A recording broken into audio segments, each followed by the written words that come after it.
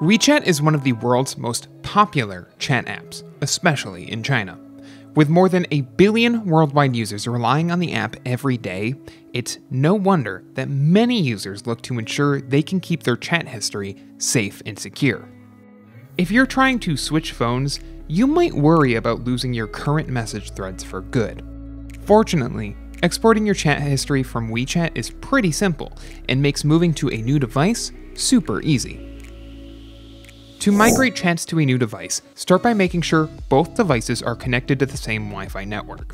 On your old phone, tap on the Me icon and select Settings, followed by Chats. Select Backup and Migrate Chats on the next screen, then select Migrate Chats to another device. Choose the conversations you want to export and select Done to generate a QR code. Now, grab your new phone and log into the WeChat app. Tap on the plus icon in the upper right corner of your screen, select Scan, then scan the QR code on your old phone. You'll see a confirmation message once the transfer is complete. If you want to export your chat history to your PC, you'll need to download and install WeChat's desktop client from the link in the description below. Enter your account credentials and log into your account. Click on the triple lined menu icon in the bottom left of the window and select Backup and Restore, followed by Backup on PC. On your phone, look for a notification from WeChat, then either select Backup All to export all of your conversations, or select Chat History to export only the conversations you want to save.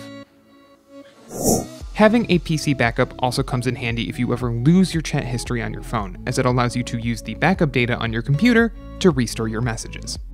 To save a backup to your PC, open WeChat on your PC, navigate to Backup and Restore, and select Restore on Phone. Select all your specific chats to restore and click OK. After receiving your notification by phone, just confirm by tapping on Restore.